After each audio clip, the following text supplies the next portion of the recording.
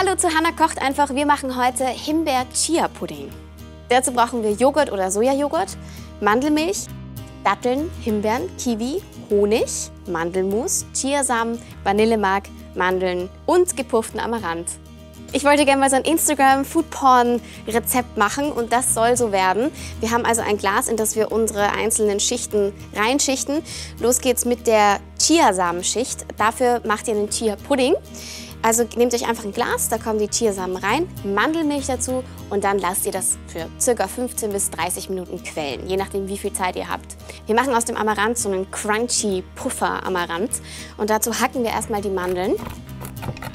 In einer Schüssel vermische ich den Amaranth jetzt mit den Nüssen und damit es auch zusammenhält, kommt der Honig noch dazu.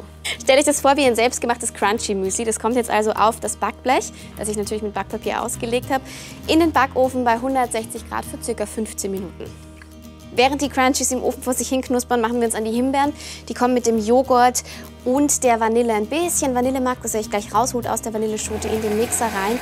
Falls die Datteln noch nicht entkernt sind, dann würde ich den Kern entfernen, der schmeckt nicht so wirklich gut. Ihr könnt natürlich auch Honig nehmen, die sind eigentlich zum Süßen da, aber sorgen auch für eine sämigere Konsistenz. Funny Fact, ich war letztes Jahr im Orient und da habe ich erfahren, dass die Beduinen sich oft nur von Datteln ernähren, weil die angeblich alle wichtigen Nährstoffe enthalten. Also man könnte von ihnen leben.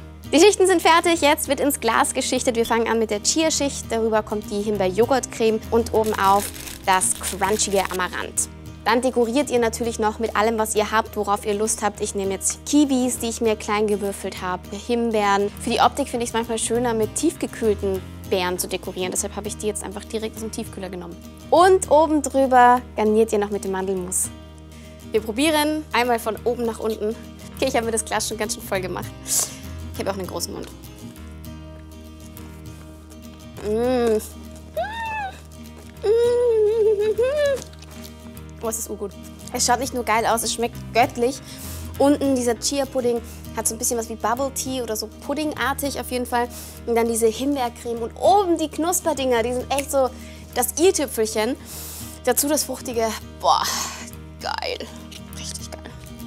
Wenn ihr wissen wollt, was Chiasamen alles so drauf haben, klickt hier in die Infokarte, macht es nach und schickt mir eure Bilder auf Facebook oder Instagram. Ich freue mich aufs nächste Mal mit euch. Bussi, Baba. Mhm.